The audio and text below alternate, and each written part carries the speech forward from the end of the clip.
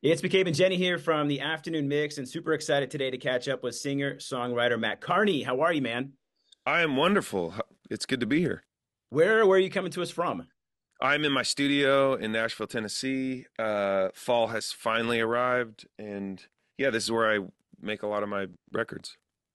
Is fall like your favorite time of year? By far, yes. Why? Why is that? I, I'm from the Northwest. I grew up in Eugene, Oregon. So the southern, I live in Nashville and have for a while, and the southern summers are just, I still don't understand them. It's just too hot for too long. Uh, so when fall comes around, yeah, it is special. And Mat, you're originally from Oregon. When I read about your story, it gave me chills. Can you kind of talk about that moment when you first moved cross country from Oregon to Nashville and you slept in the back of your truck? Uh, yes, we well, I was going to school. I was playing soccer at Chico State University in California, and I met my uh, guy who produced a lot of my records with me. And he was living in Oregon, and he said, "Hey, I'm driving to Nashville for the summer. I want to be a producer.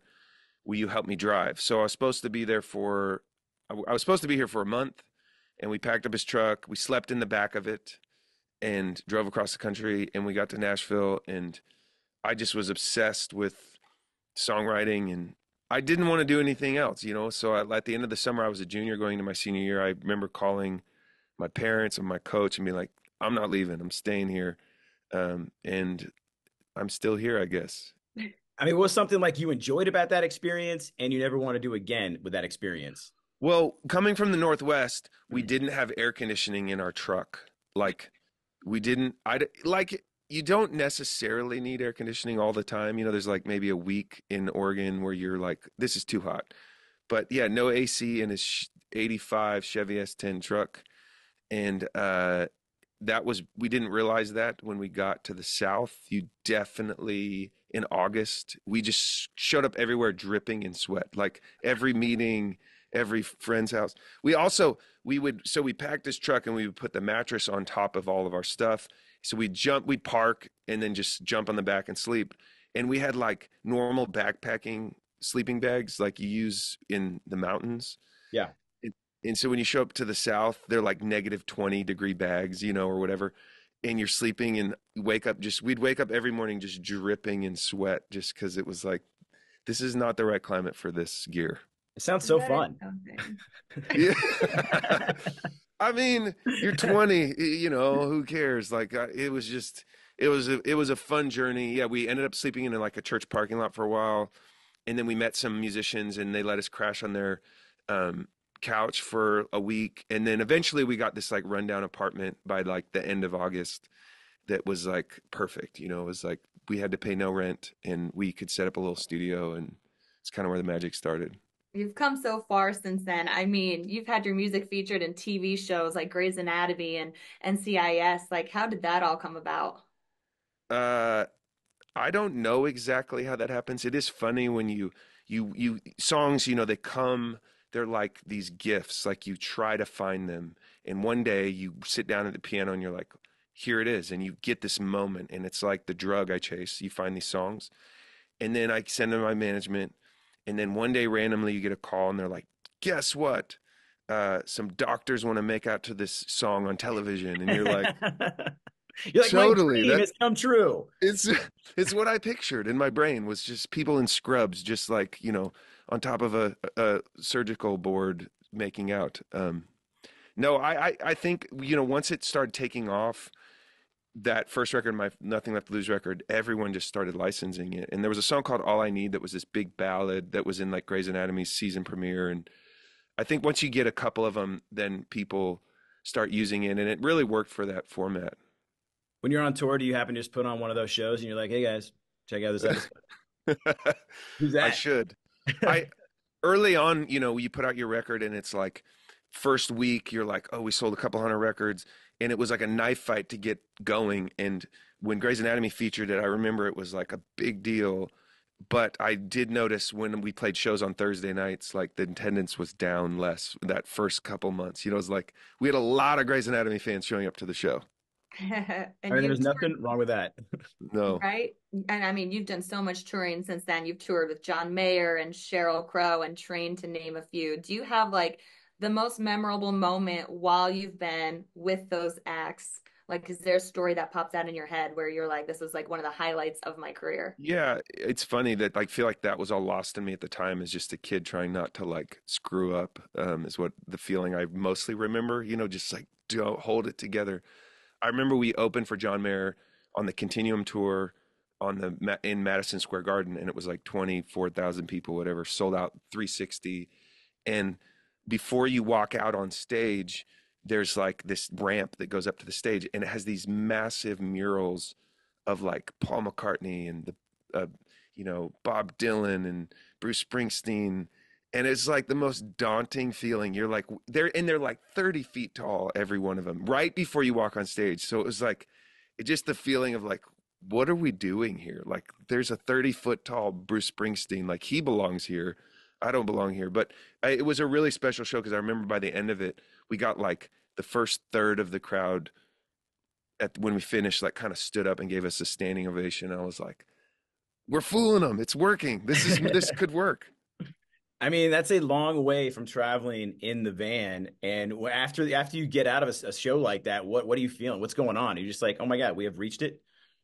Uh, honestly, that that it's funny. Like I said before, I, I I look back at those as some of these really fond memories because you can you can only kind of come up one time. You know, it's like I tell artists that all the time now. When I'm like, hey, cherish this because you can only like feel the the, the first rise one time.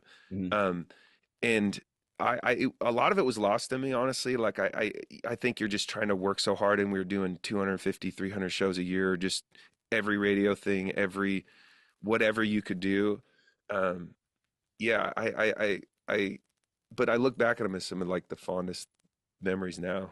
To wind down from like tour are you still you still that's what you asked me. Yeah that was your question. So I, at the time i was just i don't remember like what after the show honestly in on that tour we were in a on the john mayer Sheryl Crow tour we were in a van still.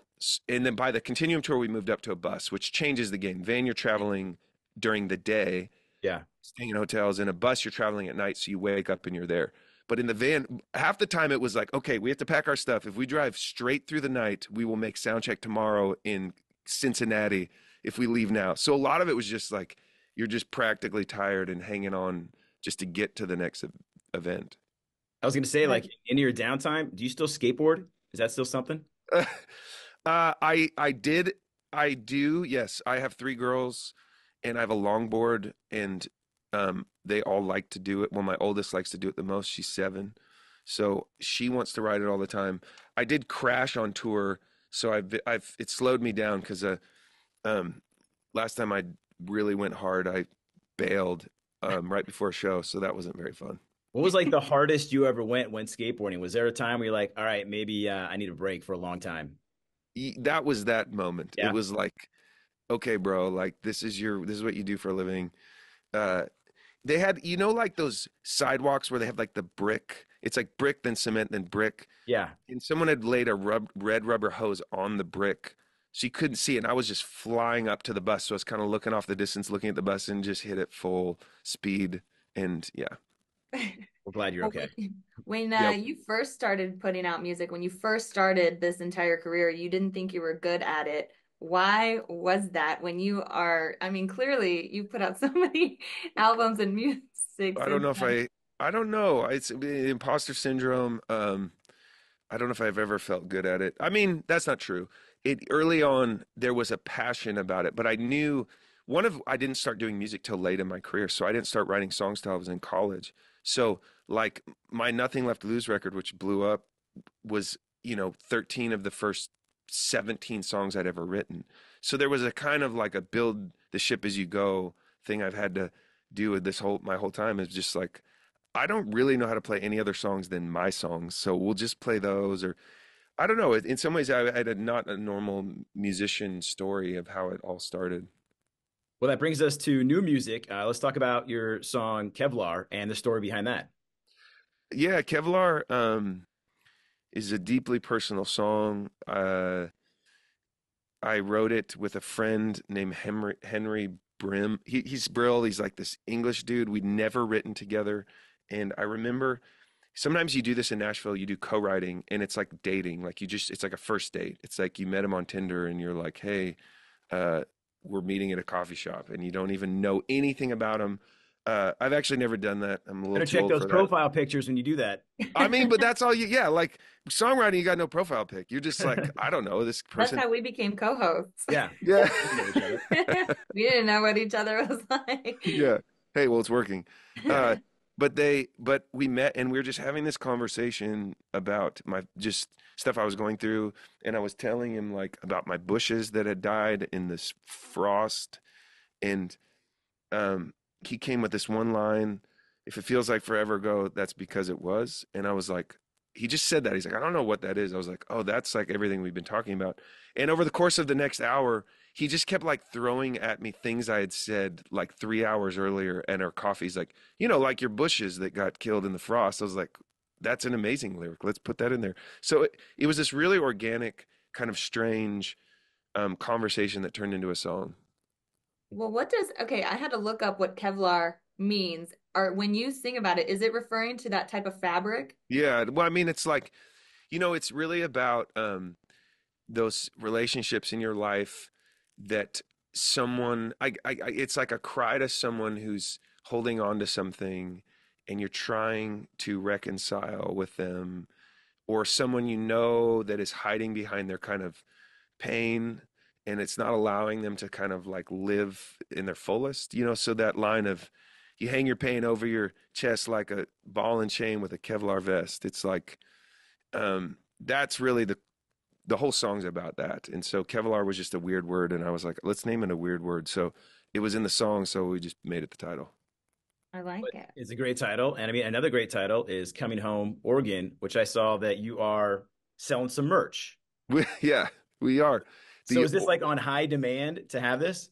Well, I posted uh, an acoustic version of me playing it, and everyone was like, "I need that shirt." It was a shirt I had. It was just like a one-off, you know, we had made, and everybody's like, "I need that shirt." So I was like, "All right, let's do it." So we put it together, and um, yeah, "Coming Home" was this song I wrote that um, on a whim, just missing my home, and I wrote it about Oregon, and it's become this whole thing where like at every Oregon Ducks football game. They play it between the first and second quarter. The Oregon Lottery has used it, and um, it's became this anthem in my home state, which has been this crazy, just exciting gift to have. Does that mean Which you have is- season tickets? I mean, I don't live there, but yeah, I, I'm pretty much like if I show up, they let me in. Yeah, generally. Yeah, it's bizarre because you did say after moving to Nashville you weren't going to be coming back to Oregon. So ironic that I you've know. got merch now.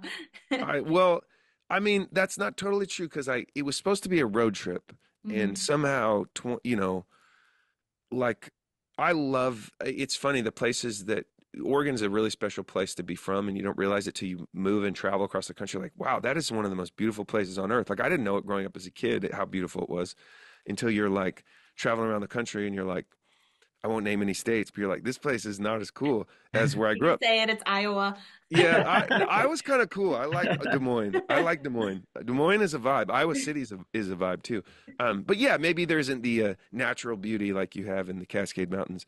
Um, but yeah, it's just like I I missed it and just happened to write that song because because I want I'm in every summer about August in the South. I'm like, yo, where is this 79 degree heat, no bugs, green grass weather?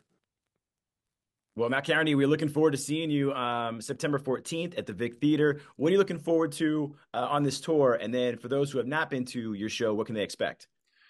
Uh, I mean, it's it is one of the coolest um, shows we put together. It's definitely like very band driven, which I guess everybody would say, but it for me, it's like it's kind of like a rock show. I I, I think there's like um, my new record. I had this band called the Brook and the Bluff, who's like this Nashville band I love so much. They're like the band on half the record.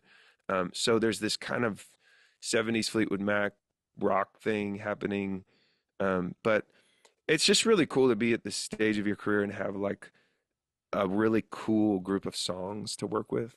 So there's new stuff that's really fun to throw in there when you want to try, but like having this like catalog your every night the set list becomes really hard.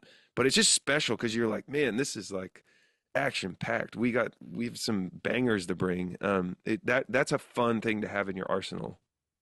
Well, thank you so much for taking the time. We're looking forward to your show and getting some of that merch you were talking about at the Vic. I'll bring you some. Thank, Thank you so, so much, much, Mat Kearney, for taking the time with 101.9 The Mix.